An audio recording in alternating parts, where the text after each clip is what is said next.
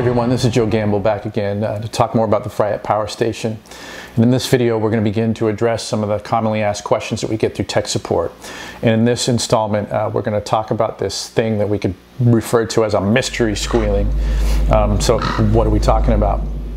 Well, uh, the, the short version would be that uh, we get some concerns sometimes that people, while operating their power station, uh, when they get their guitar close to their power station amp combo, um, that they get this sort of squeal happening that sounds like this. So back when I was a kid, you know, growing up listening to Jimi Hendrix bootlegs, you know, I would pay close attention to uh, the different types of feedback that he would summon out of his rig. And um, of course, there was kind of the normal, like maybe more musical type of feedback, you know, these sustained notes that uh, were obviously a result of manipulating, you know, intentional manipulation of the strings and the fuzz and the wah and that sort of thing. But occasionally it would get interrupted by sort of a jarring uh, kind of feedback that seemed like maybe it wasn't intentional. It wasn't until I started playing through big loud amps myself that I was able to notice this phenomenon that would happen when my guitar would get close to the amplifier. I'd get this sort of feedback that was totally different than the type that I was normally trying to achieve. And I never knew what to call it until recently when I was speaking to uh, Steve Fryette about it. And he illustrated that you know, while the normal type of feedback that we're trying to get is like the interaction between the pickups and what's coming out of the speaker, whereas what we're talking about today is more the squeal that's caused by uh, your pickups being in close proximity to the output transformer of your amplifier. So before we go any further, I just want to clarify that this sound isn't the result of any sort of defect with the power station or the amplifier that you're using or by using them both together in conjunction. You're not going to harm your gear in any way, you know, so you can rest easy with the squealy.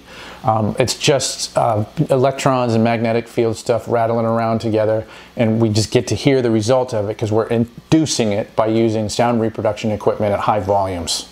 So what's happening here is that the output transformer is vibrating in sympathy with the magnetic field that it's producing.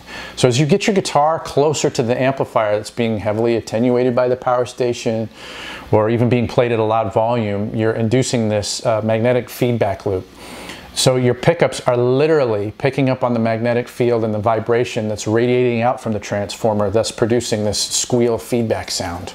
All right, so I'm going to show you how all this stuff works, but first we want to keep a few things in mind. Uh, number one, just like normal feedback, um, the more high end that we dump into the signal, the more susceptible things are going to be to this phenomenon. You know, if we think back to the Jimi Hendrix example, when he wanted things to really explode, he'd step on his wah pedal and cock the thing forward, you know, dumping tons of high end in. And uh, that's when everything would really shriek and howl and, and, and, and squeal, right? Because everything's just a lot more sensitive and susceptible like that.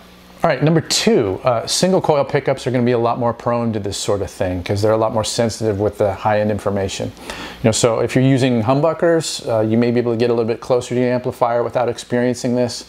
But uh, you know, if you're basically sitting on top of your amp, you're already running in the high risk category anyway. So make of that what you will. All right, and number three, the more gain that you use, uh, the more sensitive your rig is going to be to all this stuff. You know, gain is compressing and boosting everything, so you're going to be more susceptible to feedback shenanigans across the board. Got it? Okay, let's make some noise. All right, so this first example is going to show you that the guitar plugged straight into the amplifier at high volumes is going to produce this effect. Okay, so the power station is not in the chain at this point.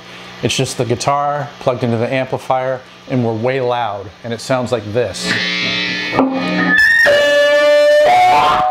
Okay, I don't want to do that again uh, and nobody around me does either. So um, we're going to patch in the power station and with the power section of the power station, we're going to bring the volume down. Uh, but because the volume of the amplifier hasn't changed, the output transformer is still going to be vibrating with the magnetic field sauce enough to make it squeal like this. All right, so while we're at it, let's see what happens when we use the more reactive modes of the power station. Okay, so right now I have, I'm running it uh, in flat mode, you know, for the high end. And so uh, let's turn the guitar up and I'm gonna switch to bright mode and then edge mode and we'll see what happens. Should be interesting.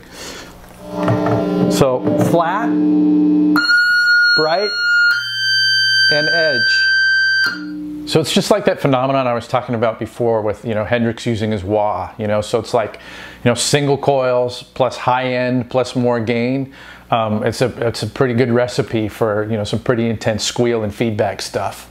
All right, so to take things just a little bit further, let's plug a gain pedal in to goose things a little bit and see what happens.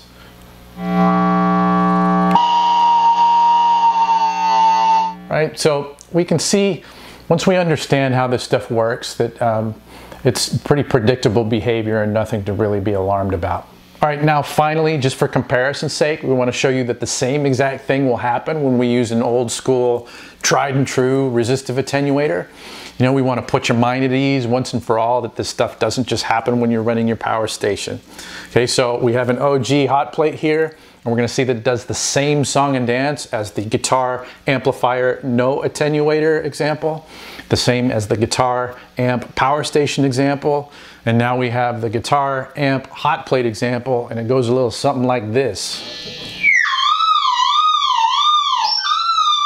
and duplicating the exact same squeal we got with the power station.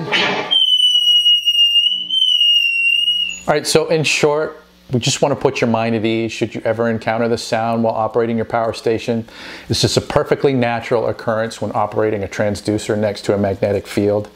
And it won't hurt your power station, it won't hurt your amplifier, and honestly, the only thing it might hurt is your ears. So thanks so much for checking out this video, and I hope you tune in next time when we discuss dreaded ground loop noises and solutions for their eradication. Like always, please like, subscribe, and press that bell icon thingy if you want to be notified when we upload more content like this. And until then, cheers and see you next time.